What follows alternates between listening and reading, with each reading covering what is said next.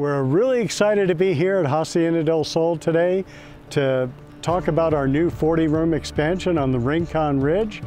It's a wonderful project. Our 40 new guest rooms are designed in the same historic hacienda style that you're accustomed to.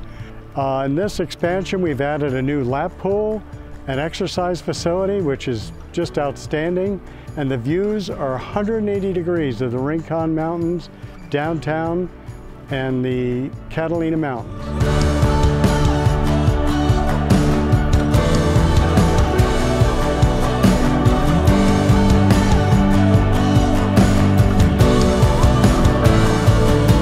We're happy to welcome you back to the Hacienda del Sol.